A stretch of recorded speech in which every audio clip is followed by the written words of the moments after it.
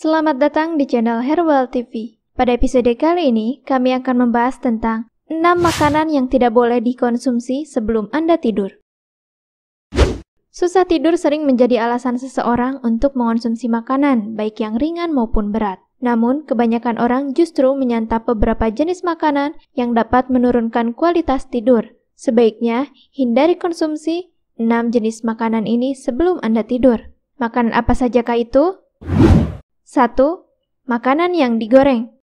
Mengonsumsi makanan yang digoreng memang menyenangkan. Salah satunya adalah makanan cepat saji. Mengonsumsi makanan yang digoreng justru semakin menyulitkan seseorang mendapatkan tidur berkualitas. Pasalnya, makanan yang digoreng membuat sistem pencernaan bekerja keras, sehingga Anda akan semakin sulit untuk mencapai kualitas tidur yang baik. Lebih baik ganti dengan makanan yang kaya protein atau karbohidrat kompleks.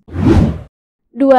Saus sambal Makanan ini patut Anda hindari sebelum tidur. Hal ini karena saus sambal dapat mengiritasi lambung sehingga perut pun menjadi mulas. Kondisi ini akan membuat Anda sulit untuk tidur. Pasalnya, interaksi yang terjadi pada lambung saat mengonsumsi saus sambal akan membuat tubuh melepaskan histamin, zat yang digunakan untuk mengatasi alergi.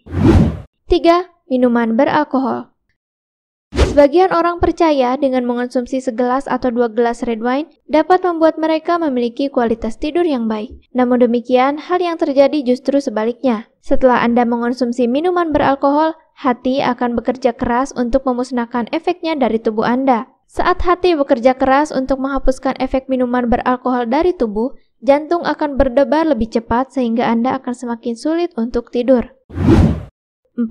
Daging kalkun Mungkin sebagian dari Anda pernah mendengar kandungan triptopan pada daging kalkun baik bagi mereka yang susah tidur. Namun demikian hal ini tidak tepat karena kandungan protein pada kalkun justru dapat memicu otak memproduksi dopamin, hormon peningkat energi. Dibandingkan daging kalkun, makanan yang baik untuk dikonsumsi sebelum tidur adalah salmon. Karena ikan salmon kaya akan melatonin yang dapat membantu Anda tertidur dengan pulas.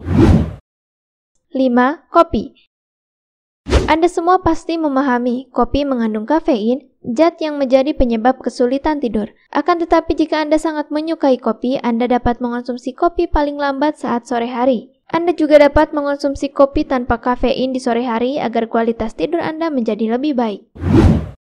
6. Coklat Selain segelas kopi, Makanan lainnya yang patut Anda hindari sebelum tidur adalah coklat. Hal ini karena satu ons coklat mengandung sekitar 23 mg kafein yang setara dengan seperempat cangkir kopi. Meski terasa nikmat, sebaiknya jangan mengonsumsi makanan ini sebelum tidur. Nah itulah 6 makanan yang dianjurkan untuk tidak dikonsumsi sebelum Anda tidur karena dapat mengganggu kualitas tidur Anda. Terima kasih telah mengikuti episode Herbal TV kali ini. Jangan lupa like, share, komen, dan subscribe untuk mendapatkan informasi terupdate lainnya. Wassalamualaikum warahmatullahi wabarakatuh.